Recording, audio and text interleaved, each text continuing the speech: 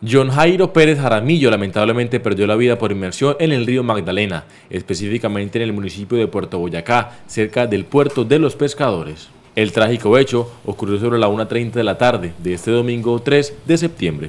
Según relatos de testigos, Pérez Jaramillo se encontraba disfrutando de un día en el río Magdalena con su familia.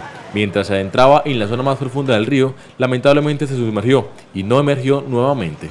Varios de sus familiares intentaron desesperadamente ayudarlo, pero sus esfuerzos fueron en vano.